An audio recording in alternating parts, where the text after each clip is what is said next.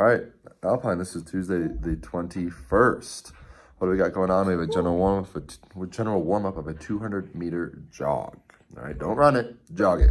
Then two rounds of PT specific, 20 seconds each side star plank, you know what that is.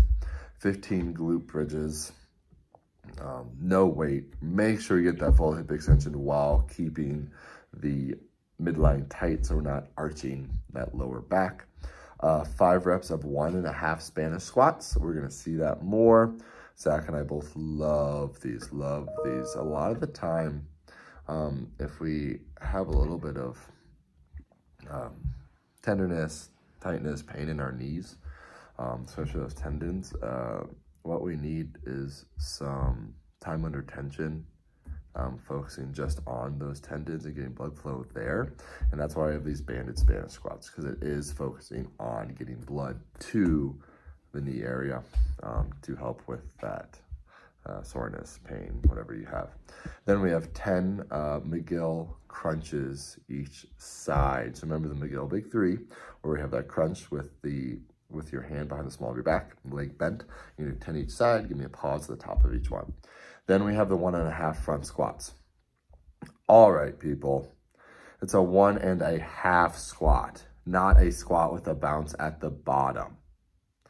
Uh, so what I'm trying to get through with this is that that half squat, you're going to push through that sticking point that you have. And generally it is around that right before that half squat range. That's why we're gonna go, I want one and a half.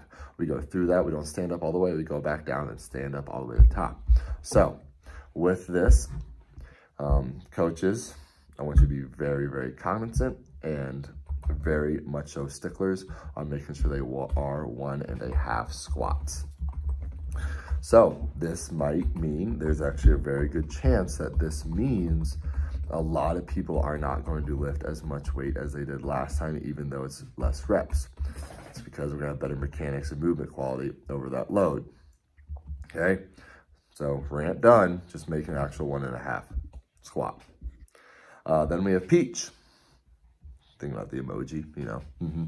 We have four rounds for time, 30 second wall sit with ball between legs, 10 double kettlebell front squats, 10 single kettlebell goblet squats, and then a 60 second rest.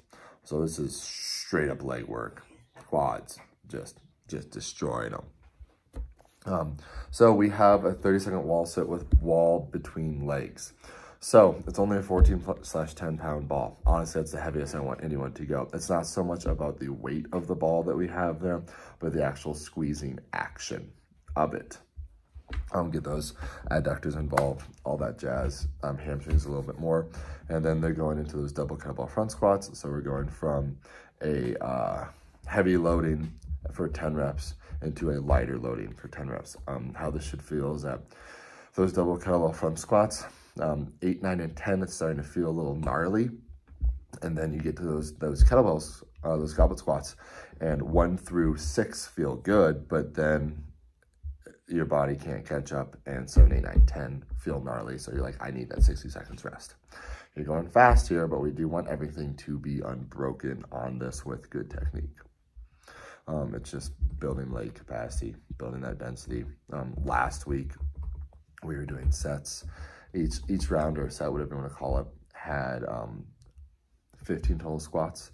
This week we had 20 total squats in a row. So as you see, that density is increasing for the volume. The volume density is increasing each week, making it so that we can just squat like none other. Um, that is today, the 21st. If you have any questions, let me know. Bye-bye.